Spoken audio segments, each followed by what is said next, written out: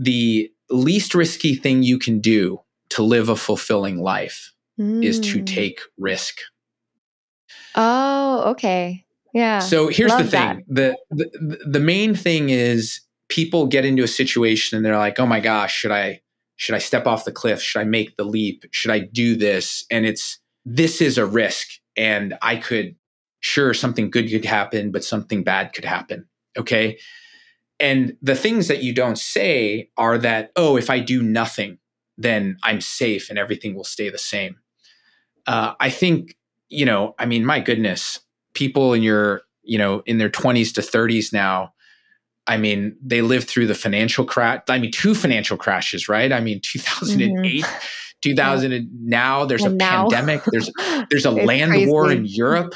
The there world is, is crumbling. and so so yeah. you know, the the thing is is but from the time that you're really young, the risk decisions are and no one talks about it. They're they just assume that if I don't do anything, everything's going to stay the same and I'm safe and nothing will change.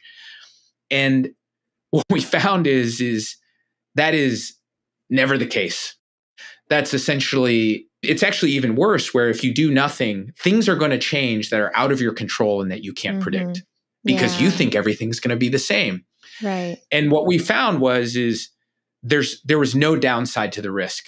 Okay? So when we had these people, I mean, you know, this woman, I mean, she was a survivor, but I mean, pregnancy, ninth grade. I mean, ninth grade. And then, you know, abusive husband flees the situation.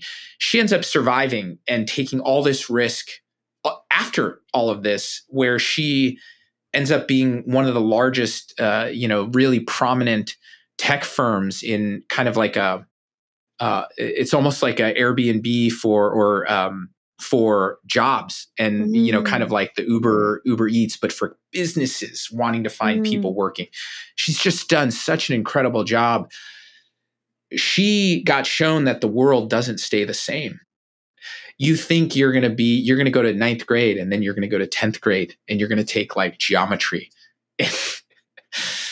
and so she got exposed really young that oh like the life goes off course. So that's the risk paradox. It's basically understanding that taking risk when you go out there, I mean, that doesn't mean just go off and jump off a building or do dumb things.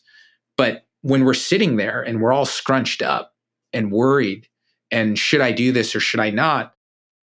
You get through lots of things. Oh my gosh, why do I want to do this? There's money, there's whatever. I mean, there's lots of different things, but the baseline underneath all of that is if I do this, it could go well, it could go poorly. If I do nothing, I'm safe. And mm-hmm. that's such a critical thing that people don't think about. We we were like, that's the most important thing. That's the risk paradox. That actually taking risk, you will learn, you yeah. will learn about yourself, you will learn about what's important to you, you will learn how hard you can work, you can learn how you're going to behave when things go well, and if you become a total jerk and you're going to learn about if things don't go well and if you know you need help and if you're going to cave and if you really liked it. Yeah basically you you're always going to gain something when you take a risk and if you don't take a risk you think you're staying safe but actually you're like you're not changing you're not growing right? And and the world changes around you and you might be in, in an even worse off place than if you were to take a risk. Look we didn't i didn't do anything and Russia invaded Ukraine. I didn't do anything. And there was a pandemic and the world shut down for two years. I, you know, reality in the world isn't going to isn't going to be safe and the same. So at the end of the day, you know, a lot of these, we, we, there are some people in the book that were in their 30s, mostly were 40, 50, 60, 70s, you know, et cetera. But no one ever regretted it. I mean, there was a guy, mm-hmm. he, I mean, he almost, these people, they almost go bankrupt. They, their hair falls out. They they have all these horrible things. And a hundred percent of the time they're like, that was really good for me. I learned so mm-hmm. much. I'm a better Love person that. for it.